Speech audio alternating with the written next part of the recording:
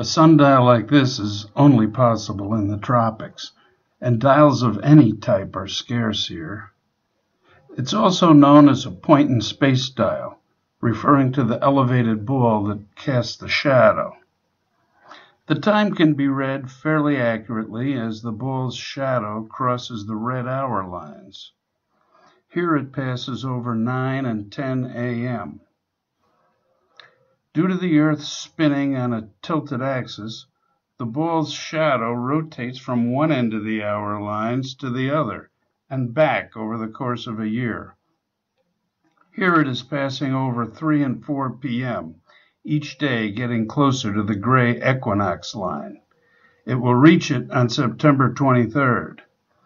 But now is a special time in Costa Rica as the sun passed directly overhead on August 28th returning south from the northern summer.